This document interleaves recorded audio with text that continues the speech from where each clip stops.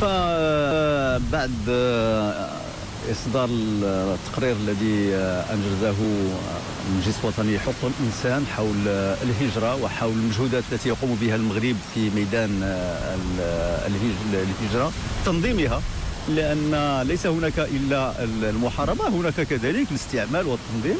فأمر جلالة الملك نصره الله بهذا الاجتماع.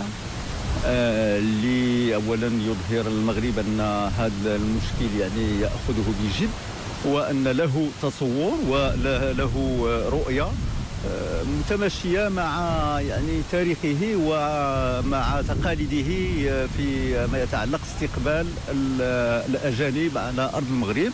وهناك عدد من الطلبة الأفارقة هناك عدد من المواطنين شمال وجنوب يوجدون في المغرب.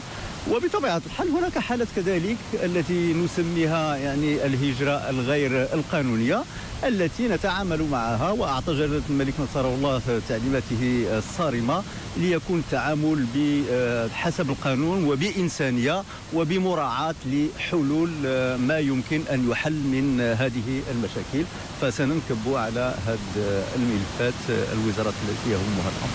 انطلاقا من المقتضيات الدستورية ومن تعليمات جلالة الملك آه، المغرب اليوم منكب على هذا الملف اللي مهم ديال الهجرة وديال اللجوء في إطار التزاماته الدولية والسياسة الإفريقية اللي كينهجها المغرب. وبالتالي فهناك تعليمات ديال جلالة الملك على أن جميع القطاعات الوزارية اللي عندها علاقة بهذا الموضوع غادي توضع واحد رؤية واحد نظرة جديدة. وغادي نحاولوا ما أمكن يكون حوار داخلي في موضوع شائك. آه، واليوم المغرب آه، مهتم في إطار التزاماته الدولية باش يعطي واحد البعد جديد لسياسته الإفريقية وللمستقبل في علاقته الإفريقية.